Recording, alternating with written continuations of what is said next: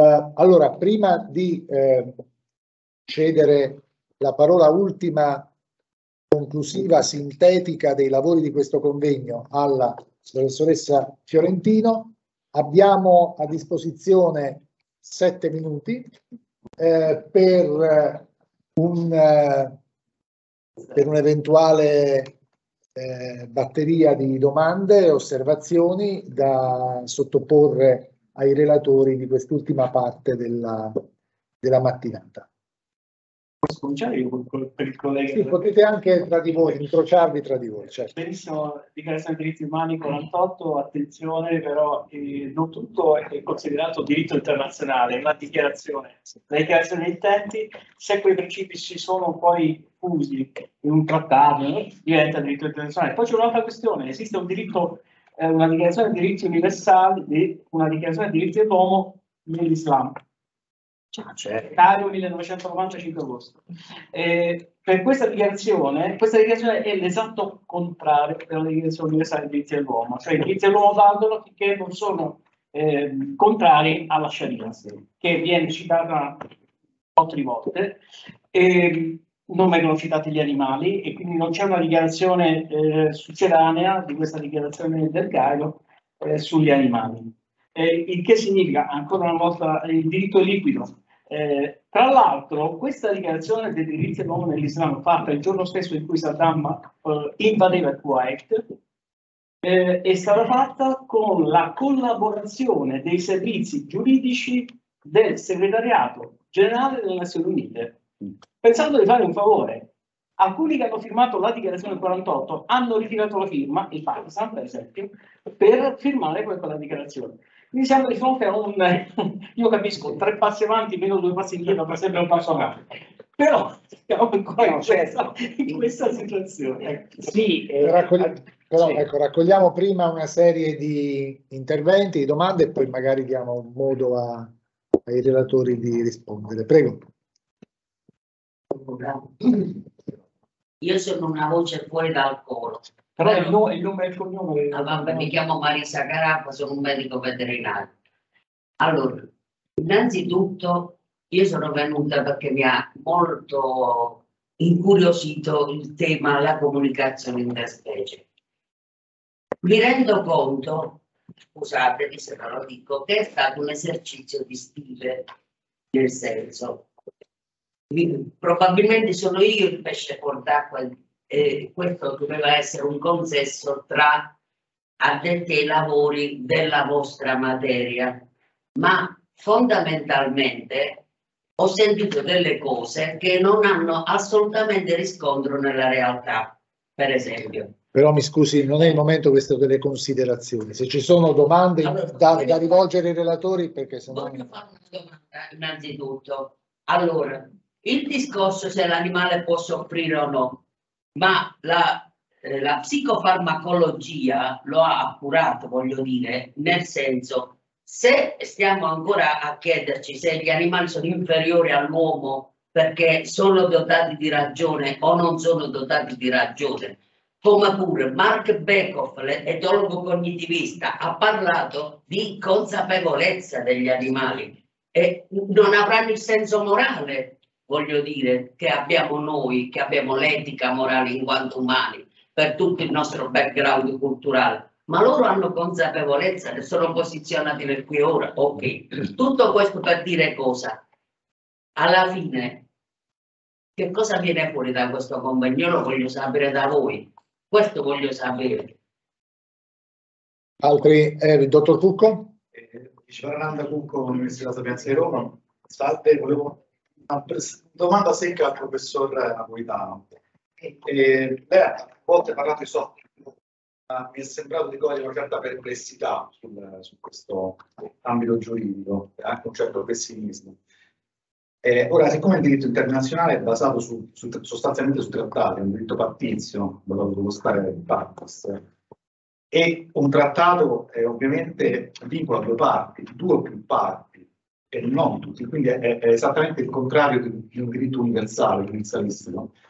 E volevo chiedere se il problema poi per una reale, concreta e, e sostanziale salvaguardia dell'ecosistema non sia paradossalmente nella, in un'intrinseca fallata del diritto internazionale.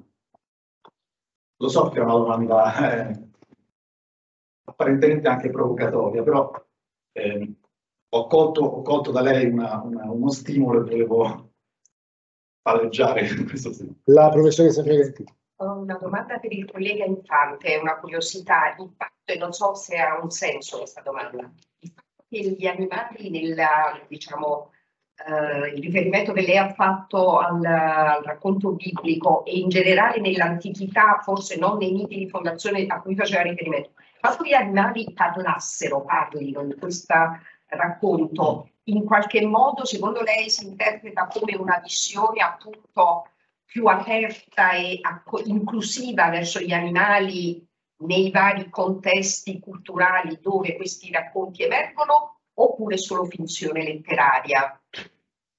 Su questo, se posso, se posso aggiungere anch'io una, una riflessione su questa cosa degli animali in India che mi pare diciamo, in effetti io stessa mi ero misurata con questo appunto in contesto degli ultimi di cui abbiamo parlato. Eh, secondo me c'è un tema che riguarda sacralità e apertura attraverso l'animale, cioè una sorta di, forse anche un riverbero del totemismo per certi versi che si affaccia in questo tipo di, di miti di fondazione, che torna nella letteratura cristiana, cattolica, codificato nelle forme appunto dell'animale, che in qualche modo è un po' quello poi la grande riprende quell'idea di aperto, cioè quell'idea di un animale che è maggiormente in contatto col sacro perché meno segnato da sovrastrutture. Questo mi pare interessante perché pone un altro problema che invece diciamo, è quello di una soggettività apparentemente meno strutturata, ma che proprio per questo entra maggiormente in contatto con il sacro e vede ciò che noi non vediamo più. Se mh, mm, permettete soltanto tre flash proprio, eh? allora uno di seguito all'altro, eh, la relazione del professor Napolitano evoca un diritto dell'ambiente come diritto dell'ambiente, da intendersi come diritto dell'ambiente sull'uomo e non più come diritto dell'uomo sull'ambiente, come eh, anticipato da Levi Strossi in, una, eh, in un intervento alla, all'Assemblea nazionale francese del 1970, eh, il, degli anni 70. la relazione del professor Infante eh, stimola a pensare non soltanto la comunicazione tra uomini e animali, ma a pensare gli animali stessi in quanto comunicazione, cioè non in quanto semplici mezzi, strumenti di, com di comunicazione, ma come modalità eminente che la natura ha che lo spirito avrebbe attraverso la natura di comunicarsi. Eh, ultima, ultima, ultimo flash su, eh, sulla relazione di Birtolo. Eh, la, il passaggio riguardante la, la, considerazione che Tom Regan fa dei soggetti di diritto come soggetti di una vita. Verrebbe da ripensare con Michel Henry che noi vediamo il vivente i viventi, ma si domandava, vediamo anche la vita. Noi parliamo di soggetti di vita, ma la vita la vediamo? La vita di un altro la vediamo? La vita di un animale la vediamo? Tutto. Eh,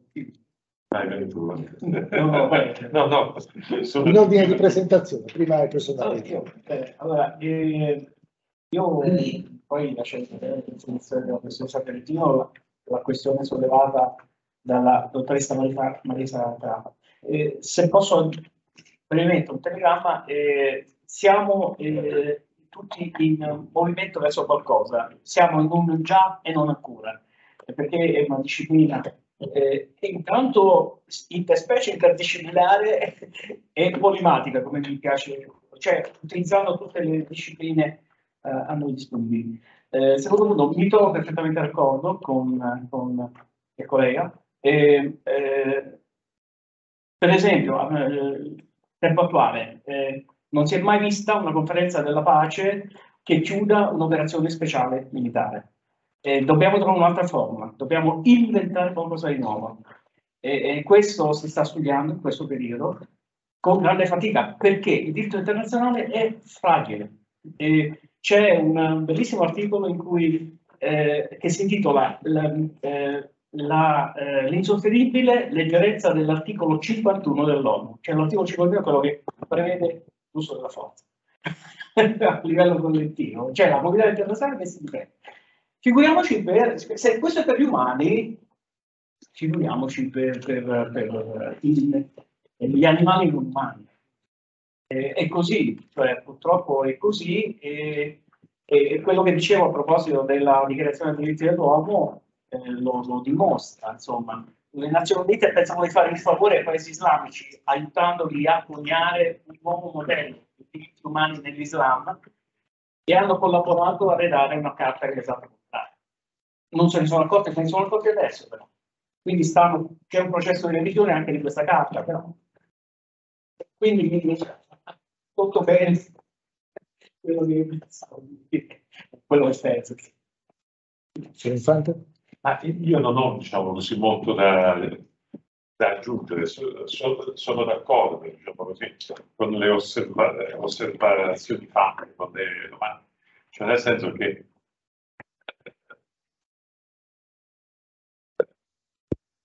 diciamo così, 50 anni fa queste cose che abbiamo, diciamo, detto oggi non si sarebbero dette perché esiste una sensibilità co com completamente nuova.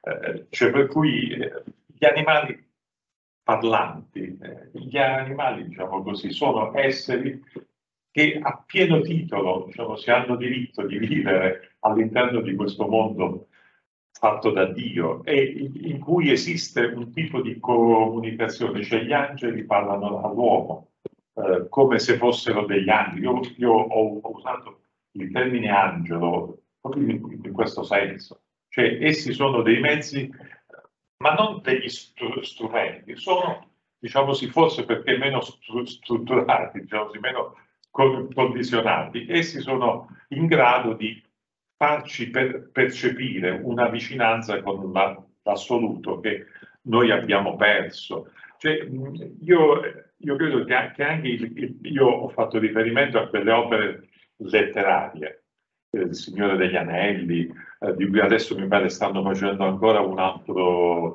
uh, uh, come si chiama? Il?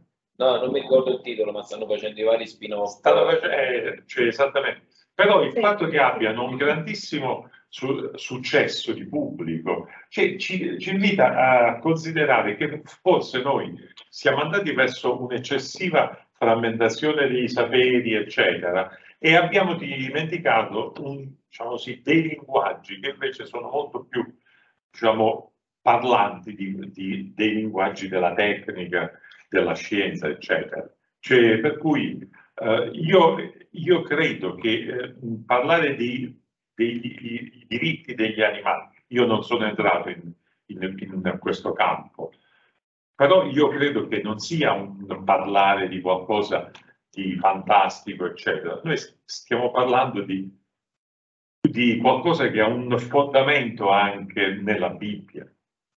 C'è in questo senso, diciamo così, eh, dobbiamo forse rileggere con, con occhi nuovi.